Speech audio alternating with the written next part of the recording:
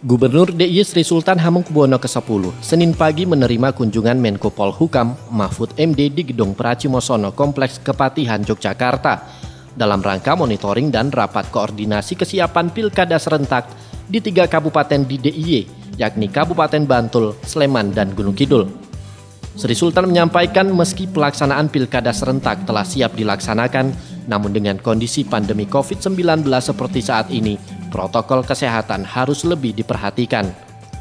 Meski secara umum pelaksanaan Pilkada serentak 2020 telah siap, namun Gubernur DIY tetap menekankan pada pelaksanaan di hari pemungutan suara. Belajar dari pilkada sebelumnya, Sri Sultan berharap bisa dilakukan verifikasi terkait kelengkapan sehingga tidak ada kekurangan anggaran baik yang menjadi tanggung jawab pemerintah pusat maupun pemerintah daerah. Pilkada dilaksanakan tanggal 9 Desember ya kita siap melaksanakan itu karena perencanaannya sudah sudah dilakukan dan dimulai pelaksanaan itu dimulai hari ini 15 Juni. Menko Polhukam RI Mahfud MD mengatakan penyelenggaraan Pilkada serentak 2020 bagi pemerintah pusat menjadi agenda penting di tahun ini di tengah pandemi. Sejak awal, pemerintah telah memiliki sejumlah opsi untuk memundurkan jadwal pilkada dari jadwal resmi di 23 September 2020. Ada tiga alternatif pengunduran jadwal, yakni Desember 2020, Maret 2021, ataupun di akhir tahun 2021. Dan baru saja saya bisa 10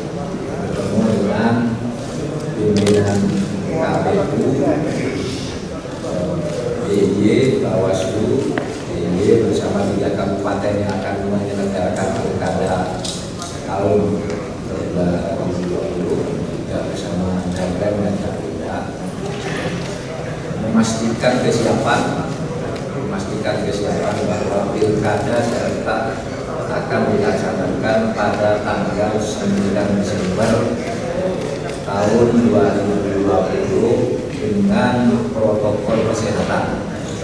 Kita tidak menunda lagi dan pemerintahan harus berjalan normal dari pusat sampai ke daerah termasuk dengan cara normal yang baru.